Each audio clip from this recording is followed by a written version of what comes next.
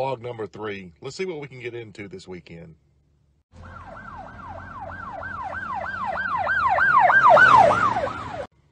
So we're taking a road trip and we're going to a meetup. And if you haven't never been to one of these meetups, you need to go. It's simply just amazing just to get with other like-minded people, uh, like-minded makers, and just friends uh, that you talk with over the internet that you you don't get an opportunity all the time to see them face to face and talk in person and uh, just fellowship. So we're going to go to a slip and slide party. Let's see what happens and what I can get into along the way. I gotta stop and eat first.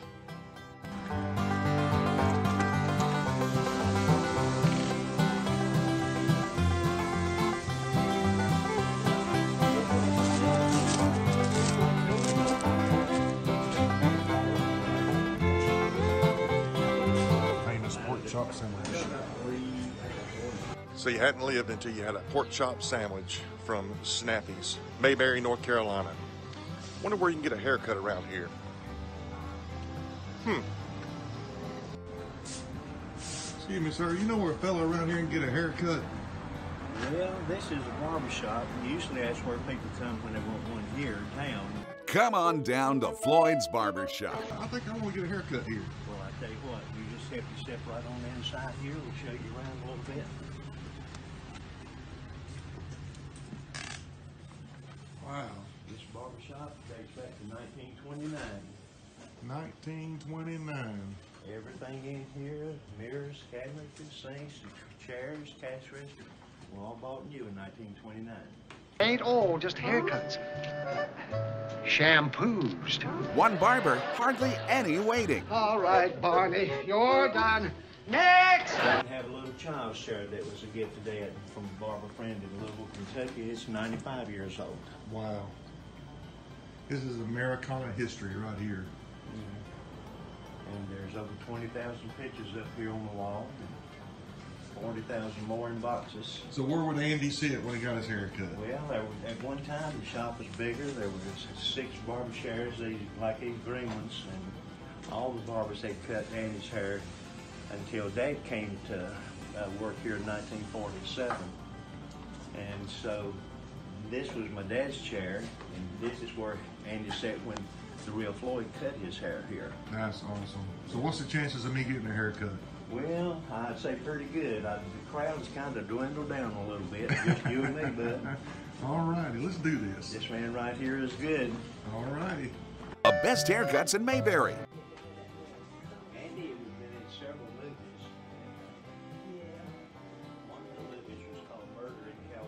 Looking spiffy, Mark. We're gonna fix you right. Located in downtown Mayberry, just steps from the courthouse. Best clip joint in town. All right, looking good now.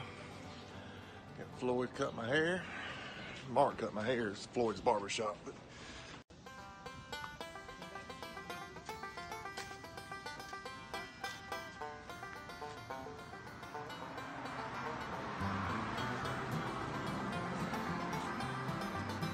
Andy.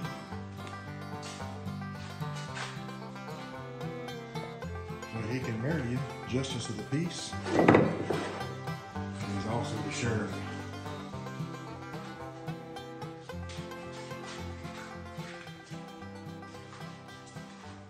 You might see Otis's. Don't forget to wake me up Monday. That's the beginning of National Potato Week, and I want to celebrate.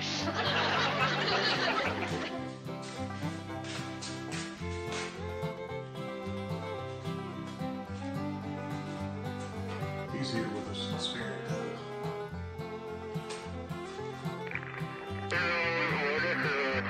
Wonder if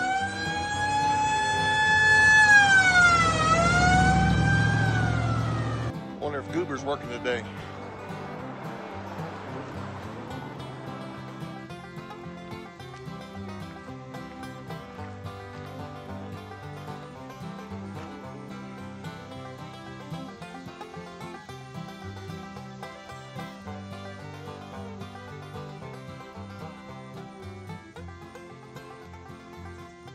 Let's hit the road.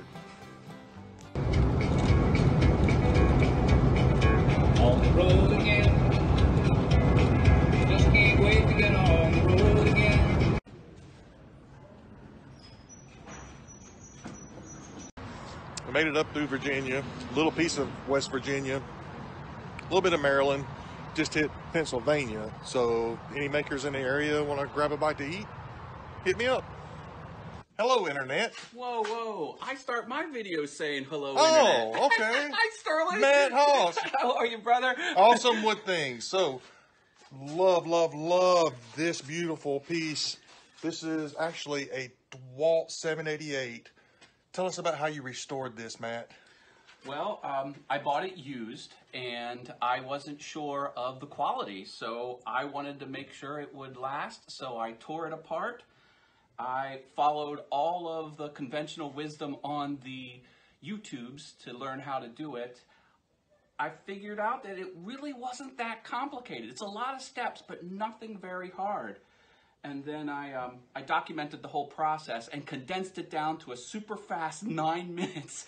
And that video is doing really well. But um, as you can see, I've got the Van Halen stripes on it, which Beautiful. I just really love. And I even took apart the DeWalt logo and made my own nameplate here. How you done that with the metallic? That's just gorgeous. Yeah, so this is a combination of scroll saw and CNC work, and this is, um, yeah, this is reflective red letters of my last name, so I, I did that. I mean, I love Van Halen, I love the look, and I got inspired from this community. There was another maker that Van Halenized one of their pieces. It was uh, Steve Carmichael. Steve, Yeah. yes. He has a, uh, a toolbox, and I even asked him. I said, "Steve, I really love it. Do you mind if I do that to one of my tools?" He says, "You never have to ask me to Van Halenize anything. Van Halenize the world." That's like, awesome. "Yes." So, speaking of the community, that's what we're here for. I'm here traveling up. We're going to a slip and slide party. We're going to Tony Rouleau's. You coming down, right? Oh yes, I'll so we're there. to have a blast. I'm stopping through this troll woodworkers on the way. so, Matt, thank you for having me in your shop. Oh. Appreciate breaking bread and pizza and drinks and see you this weekend. we're going to have a Anytime, ball. Sterling. You're always welcome at the Haas house. Awesome wood things right here. Link's going to be down below.